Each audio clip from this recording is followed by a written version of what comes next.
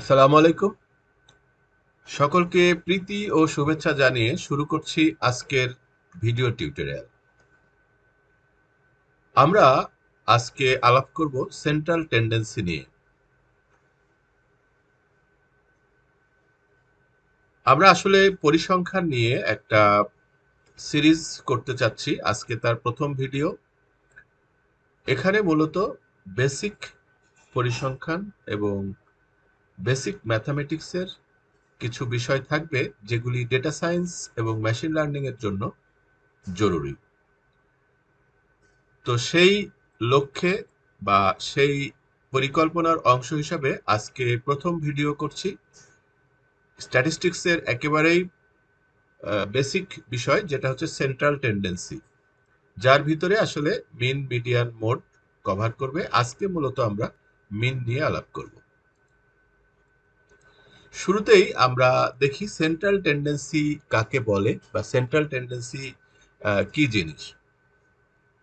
Central tendency is defined as the statistical measures that identifies a single value as representative of an entire distribution or sample অর্থাৎ আমরা বুঝলাম যখন কোনো একটি single value বা number সম্পূর্ণ স্যাম্পলকে বা ডেটা সেটকে রিপ্রেজেন্ট করতে পারবে, তখন সেই ভ্যালু বা নাম্বারকে সেন্ট্রাল টেন্ডেন্সি বলা হয়। খুব একটা ভালো, বোঝা গেল না। আমি আরেকটু সহজ করে দিচ্ছি। ধরুন, আমাদের একটা ক্লাসে সবাই পেয়েছে ধরুন ক্লাস ফাইভের সবাই কেমন রেজাল্ট করেছে? এরকম একটা প্রশ্ন আসতে পারে। তো ক্লাস ফাইভের সবার রেজাল্টের গড় নেওয়া হলো ধরেন বাংলাতে কত পেয়েছে, ইংলিশে কত পেয়েছে, এরকম করে গড় নেওয়া হলো। তো তাতে দেখা গেল যে মোটামুটি একশো জন ছাত্রের মধ্যে প্রায় আশি জনই পঞ্চাশ কিংবা পঞ্চাশের আশেপাশে পেয়েছে। এবং গড় বের হলো আসলে পঞ্চাশ। তো এই গড় রেজাল্ট থেকে বলে নেওয়া যায় যে, বলা যায় যে ক্লাস ফাইভের ছাত্রদের রেজাল্ট আসলে অন অ্যান এভারেজ ফিফটি মানে মোটামুটি। খুব একটা ভালো না, খারাপ না। কিন্তু এই বিষয়টা যে আমরা বললাম, সেটা কিন্তু এই মিন বা গড় বের করার পরে বলতে পারলাম। সেরকম ভাবে ধরেন একটা ক্লাসের পঞ্চাশ জন স্টুডেন্ট আছে, তার মধ্যে পঁয়তাল্লিশ জন স্টুডেন্টকে জিজ্ঞেস করা হলো, তোমার কি খেতে ভালো লাগে? তো তারা অ্যান্সার দিল যে তাদের হয়তো বলল যে, পোলাও খেতে ভালো লাগে। পোলাও, গরুর মাংস ভালো লাগে। তারপরে দুইজন বলল যে তাদের পরোটা ভালো লাগে। আরও একজন বলল যে না, তাদের সাদা ভাত ভালো লাগে। আবার কেউ বলল যে না, রুটি খেতে ভালো লাগে। তো এইভাবে আমরা একটা জরিপ করলাম, কিন্তু তাতে দেখা গেল যে মেজরিটি পার্সেন্ট অর্থাৎ এখানে মোট হচ্ছে পঁয়তাল্লিশ জন যারা বলছে যে আসলে পোলাও এবং গরুর মাংস খেতে ভালো লাগে। তার মানে কি হলো? যে আসলে আমরা বলতে পারি যে এই ক্লাসের ছাত্রদের, ছাত্ররা মূলত পোলাও এবং গরুর মাংস খেতে ভালোবাসে, কারণ মেজরিটি তাই বলে। তো এই যে সেন্ট্রাল টেন্ডেন্সি নাম্বার একদিকে দেখলাম ফিফটি এবং আরেকদিকে দেখলাম পঁয়তাল্লিশ, যেটা হলো পঞ্চাশ জনের মধ্যে। এগুলি হচ্ছে পুরো একটি গোষ্ঠীকে বা একটি সিরিজকে বা একটি স্যাম্পলকে রিপ্রেজেন্ট করে। তো যাই হোক, আমরা সাধারণত তিন ধরনের সেন্ট্রাল টেন্ডেন্সি থাকে। একটা হচ্ছে মিন মিডিয়ান এবং মোড আমরা একে একে সবগুলি নিয়ে আলাপ আলাপ করব, তবে আজকের ভিডিওতে আমি শুধু মিন নিয়ে আলাপ করব। মিনের বাংলা অর্থ গড়, এই মিন বলতে আমরা কি বুঝি? The mean is the mathematical average of set of two or more numbers এই মিন জিনিসটা আমরা সকলেই জানি যে দুই বা ততোধিক নাম্বারের যে অ্যাভারেজ বা গড় সেটাকে মিন বলে। কীভাবে? যেমন ধরেন এখানে দুই, তিন, চার, পাঁচ, ছয় এগুলির যদি আমরা অ্যাভারেজ বের করি, তাহলে সবগুলিকে প্রথমে যোগ করব, যেটার অ্যান্সার হবে টোয়েন্টি এবং এটা আসলে কয়টা নাম্বারের যোগ করলাম? এক নাম্বার, দুই নাম্বার, তিন নাম্বার, চার নাম্বার, পাঁচ নাম্বার। অর্থাৎ এখানে পাঁচটা সংখ্যা আছে, তাই পাঁচটা সংখ্যা দিয়ে ভাগ দিলাম। তাহলে পাঁচ দিয়ে ভাগ দিলে এখানে আসছে হলো ফোর তাহলে আমরা বলতে পারি যে এই পাঁচটা নাম্বারের মিন বা গড় হচ্ছে চার বা ফোর ওকে তো এই মিন করার মিনটা কোথায় ইউজ হয় সেটা আমরা দেখব। মিন মূলত to know the overall result প্রথমেই বললাম যে একটা গ্রুপের বা একটা গোষ্ঠীর বা একটা স্যাম্পলের ওভারঅল রেজাল্ট জানতে গেলে আমরা এই মিন বের করতে পারি, গড় বের করতে পারি। তো determine the skewness and the standard deviation skewness কি স্ট্যান্ডার্ড ডেভিয়েশন কি, সেগুলো আমরা পরবর্তী ভিডিওতে জানব। তবে আমরা আপাতত এটুকু জেনে রাখি যে সেগুলি ডিটারমাইন করতে গেলে এই মিনের প্রয়োজন হয়। এছাড়াও টি স্কোর এবং জেড স্কোর এই ধরনের স্কোরগুলি স্ট্যান্ডার্ড স্কোর বলে এগুলিকে, এগুলি নির্ণয় করতে গেলেও কিন্তু মিনের প্রয়োজন হয়। মিনের মিনের সুবিধা কি? খুবই ইজি ডিটারমাইন একেবারেই সহজ। সংখ্যাগুলিকে যোগ করতে হবে এবং সেই নাম্বার নাম্বার অফ সংখ্যা দিয়ে ভাগ করতে হবে। অবজারভেশন হ্যাজ ইকুয়াল ওয়েটেজ আমরা এখানে যতগুলি সংখ্যা থাকবে একটা সিরিজে বা একটা স্যাম্পলে, কাউকেই কিন্তু বাদ দিতে পারব না। সবাইকেই কিন্তু এর এই মিন করার সময় যোগ করতে হবে এবং ইকুয়ালি সবাইকেই কিন্তু যোগ করে তারপরে আমাকে ভাগ দিতে হবে। সো এই বিষয়টাকে বলা হচ্ছে যে ইকুয়ালি ওয়েটেজ দেওয়া হচ্ছে সবার জন্য। মোস্ট রিলায়েবল সেন্ট্রাল টেন্ডেন্সি হ্যাঁ এটা অনেক রিলায়েবল তিনটার মধ্যে এটাকেই মোস্ট রিলায়েবল বলা হয়। আচ্ছা এবার আমরা দেখি যে মিনটা যদি রিলায়েবল হয় মিনটাই যদি এত ভালো হয়, তাহলে আমাদের বাকি দুইটার দরকার কি? আসলে, মিনেরও কিন্তু কিছু লিমিটেশন আছে। যখন এই লিমিটেশনগুলো থাকবে, তখন আমরা হয়তো মিনের কথা চিন্তা না করে আমরা বাকি দুইটার কথা চিন্তা করতে পারি। তো লিমিটেশনগুলি কি কি?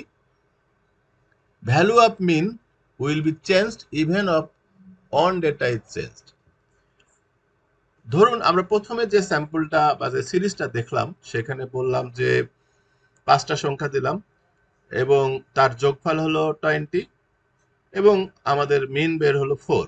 কিন্তু কোনো একটা ভ্যালু সম্ভবত প্রথমে থ্রি ছিল।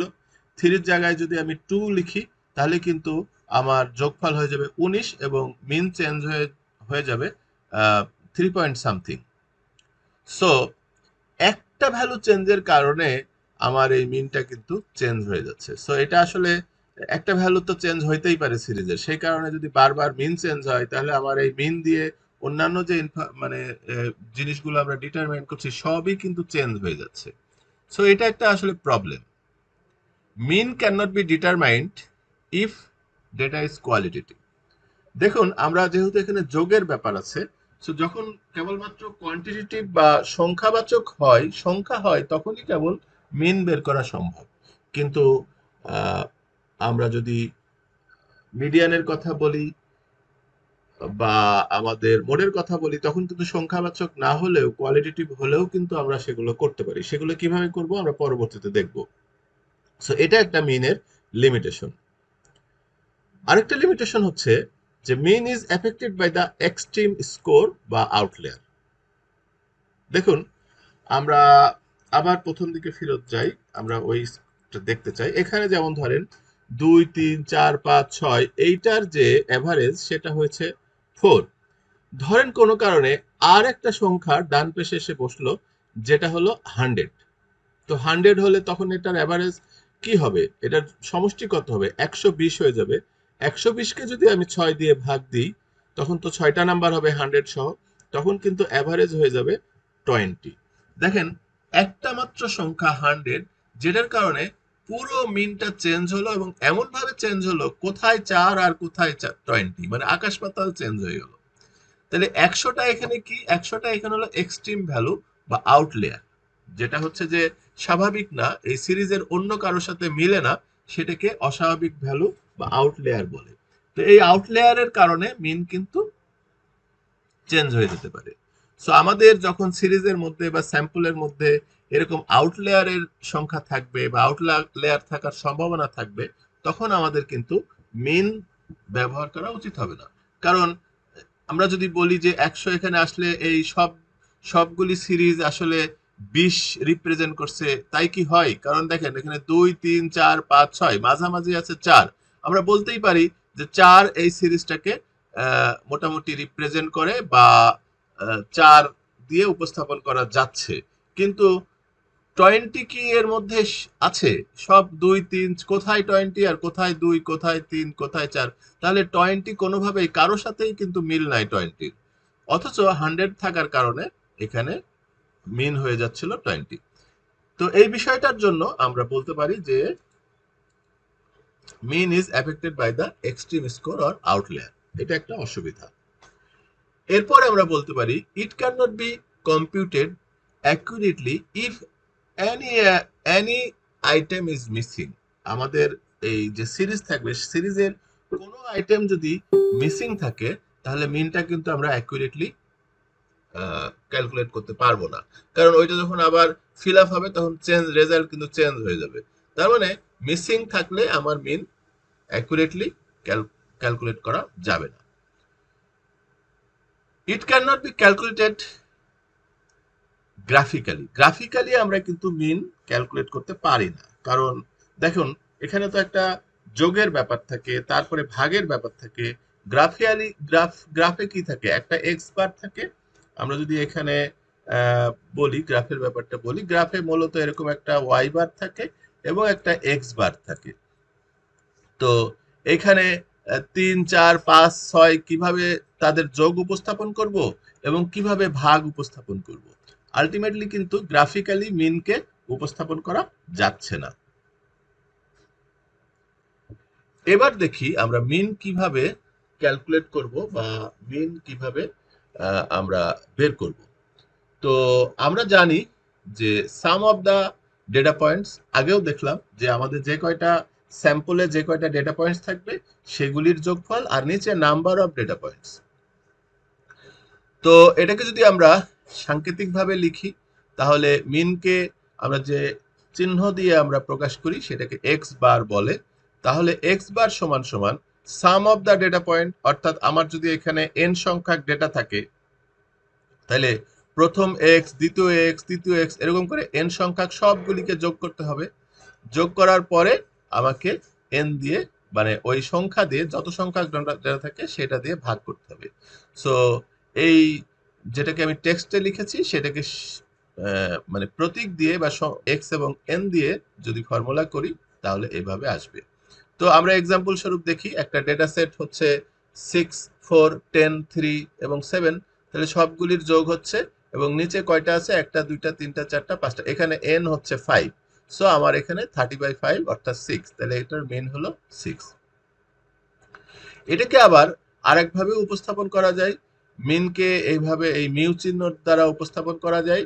এবং সেই ক্ষেত্রে আমরা এই যে সামেশন এক্স আই উপরে এন নিচে আই সমান সমান ওয়ান এটা একটু জটিল মনে হচ্ছে, কিন্তু জটিল মনে হলেও এই যে সামেশন চিহ্নটা সামেশন চিহ্নটা অর্থাৎ এই যে চিহ্নটা, তারপরে আমি যখন এক্স লিখতেছি, এটার মানে হচ্ছে যে যতগুলি এক্স আছে, সবগুলির এক্সের যোগফল হচ্ছে এই যোগফল বুঝাইতে এটাকে বলে।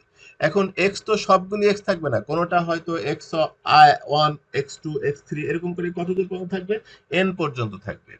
তো আমি সবগুলিকে তো প্লাস প্লাস করে লিখতে পারব না, কারণ আমি সামেশন লিখে ফেলেছি। তাই এখানে লিখব এক্স আই কারণ আমি অনও ফিক্স লিখতে পারব না। ওয়ান থেকে এন পর্যন্ত আছে। আমি এক্স আই লিখব। আর এই আই এর মানে কি? আই স্টার্ট হবে কোথার থেকে? আই শুরু হবে আমার এক থেকে। প্রথম আইটা হবে এক, অর্থাৎ এক্স আই পরের আইটা হবে এক্স টু এরকম করে চলতে থাকবে। কত দূর পর্যন্ত চলবে? এন পর্যন্ত। তো এটাকেই আসলে এভাবে উপস্থাপন করা হয়েছে। এবং নিচে কি হবে? আমার যে এন পর্যন্ত চলল, তার মানে সংখ্যা আছে এখানে যত এন সংখ্যক সংখ্যা আছে, তো এন দিয়ে ভাগ হচ্ছে। তো তাহলে আমরা সামেশন এক্স আই কে যদি উপস্থাপন করি এখানে, দেখেন X one plus X two plus X three এভাবে এন পর্যন্ত যাচ্ছে। এন হলো টোটাল নাম্বার আর মিউ হলো মিন তার মানে আলটিমেটলি আমরা পূর্বের স্লাইডে যেটা দেখলাম, সেটাই এখানে আসলে সাংকেতিকভাবে ফর্মুলা আকারে লেখা হলো। আমরা আজকে মূলত আনগ্রুপ ডেটার মিন বাহির করলাম।